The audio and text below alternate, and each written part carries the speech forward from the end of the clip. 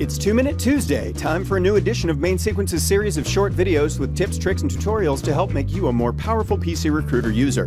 Today, we're going to be looking at an exciting new feature for creating and working with contacts and attachments in the PC Recruiter portal for Microsoft Outlook. As of our most recent portal update, you can now save time with the convenience of drag and drop. really? Drag and drop. Let's see how it works. This email here contains some files that we want to attach to a company in the database. We'll locate the company, open it, and now we'll drag the email into the PC Recruiter area of the screen. A number of options appear. Add Company Attachment at the top will allow us to take the email itself or any of the files that came along with it and attach them to the currently open company record.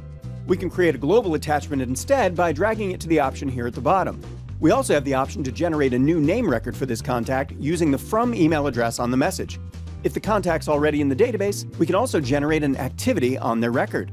If we're back at the company's search screen, we can still drag an email over, but now we'll see all of the recently viewed companies currently displayed. We can select which of them to attach the files to. Paging through the recently viewed records allows us to attach the items to different companies. You'll find the dragging feature extra helpful when you receive an email with an attached resume. If we view a name record rather than a company, the options at the top include adding or replacing the resume for the current name, in addition to those for creating general attachments or writing an activity. We can even apply this technique to roll-ups.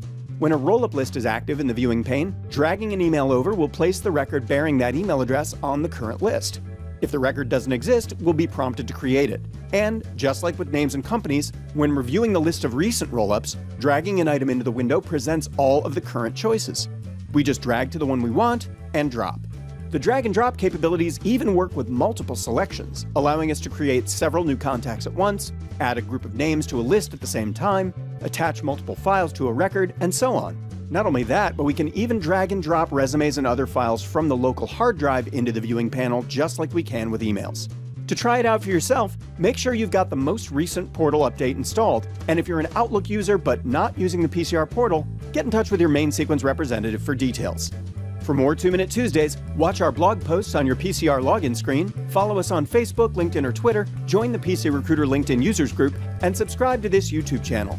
If you have any topics or suggestions for future 2 Minute Tuesdays, send an email to 2minutetuesday at mainsequence.net.